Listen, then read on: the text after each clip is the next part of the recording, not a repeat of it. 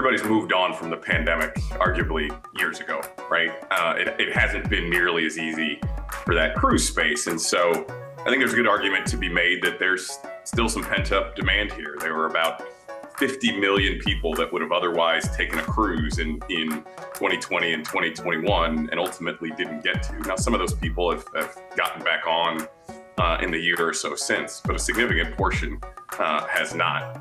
I think the other thing that helps, and, and we're, we're entering what's called wave season, right? When a, when a disproportionate number of bookings are made for the upcoming, you know, spring break and summer season. That was really marred last year by, you know, the onset of the of the Russia-Ukraine conflict, and then also the outbreak of, of Omicron. This year's wave season, by all accounts, from the work that we do, is off to a much better start.